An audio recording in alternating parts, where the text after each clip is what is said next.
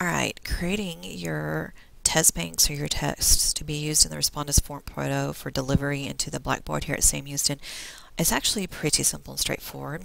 You do have to follow a couple of formatting standards that it requires simply because it's a software and it looks for certain programming. And I know that word programming can be a little intimidating. All it simply means is that when you number your questions, they need to end with a period or with a bracket. Not both, one or the other. I like to just simply stick to the period because it's straightforward. And then you need to give it answer choices. So the first ones that we show and the most commonly used would be multiple choice and true and false. The key thing here is that you put the asterisk sign come here, see if it'll highlight here, in front of the correct answer choice. And as you'll notice when you open the start file that I've provided for you, you've got quite a few options you can do. You can get pretty in-depth in some of the requirements it has for it. You can add in different images that you want to use. You can bold, underline, etc. There's no problem with that. You can add images of any shape, shape, form that you would like to use. You can come in and you can do tables without a problem. And you can use plenty of images. Also, just to show you, to do a true and false, I might say, um,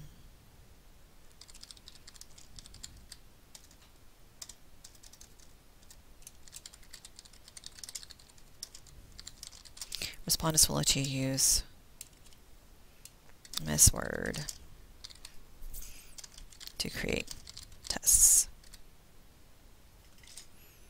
And then what you would do, A, true, B, false, or yes, no, etc. And then again, put that asterisk in front of it. And then, of course, go through and make sure everything's numbered correctly. You do have more choices available for you other than multiple choice and true and false. You can do a multiple response where there's multiple answers that could be picked.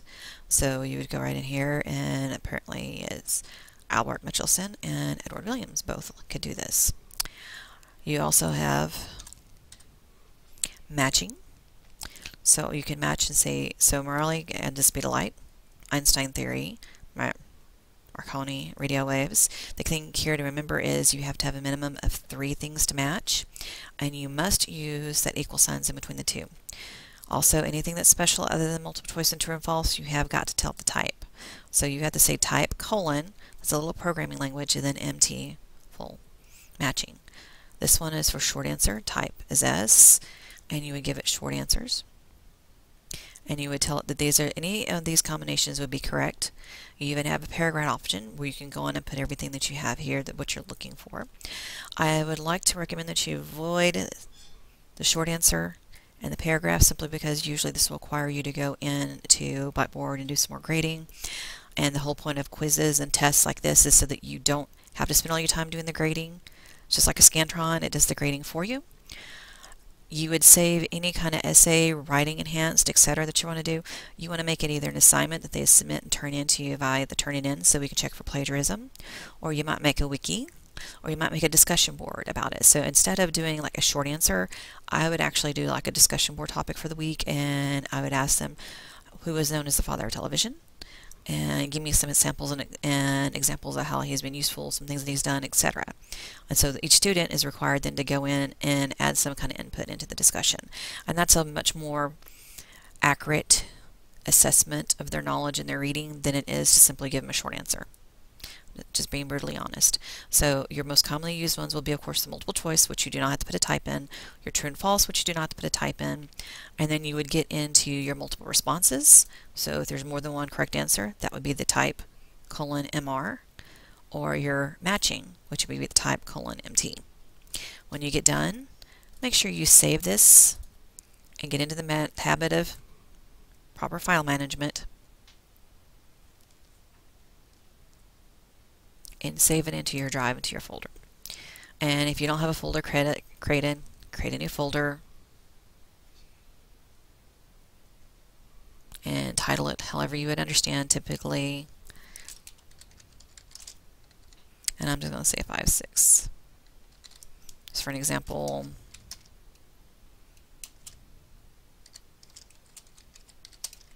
and I'm totally making this up, but I'm just so that I can show you. You would do a safe, you'd give it a title. I would usually stick to the digits and then this explanation for the course, and then organize it and have it set up so this might be your week one. And you'd put this quiz into that week one folder, and that's where you would save it to go get it. And then you repeat this process for all the weeks. So if you've got tests that you've already created, oh crud, I have to start all over again. No, you don't. All you have to do is make sure that it follows this format, that it's got the number, period, asterisk in front of the correct answer. That's all you have to do. And if it's true and false, the same thing, except for you have to say A true, B false, put an asterisk in front of it. If you want to use multiple responses, the same thing. All you have to do, remember, is to put above it the type colon MR. You want to use multi matching, type MT. And if you want to use the short answer in the paragraph, you can. Choice is yours, but remember again, you'll have to go on and do this grading. It's not going to really completely auto grade this. I've, I've found that that's not really the best option for using it. All right, next video I'm going to show you how to get this test and into Respondus.